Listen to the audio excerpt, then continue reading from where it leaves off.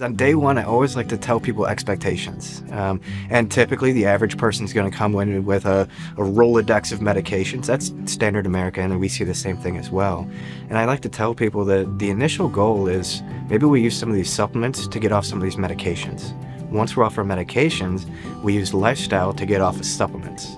That supplements we really use as kind of a crutch as we learn the lifestyle, as we work on, as we build these different routines. So, end of the day, our goal is not that you're on a handful or an equal replacement for those medications. Our goal is that we heal the body so that the body can take care of itself. End of the day, that's what we're designed to do. But in our modern society, there is a need for ongoing supplements. So as we work with a patient, day one, and a great example is you sprain your ankle, you need some crutches or you need a brace.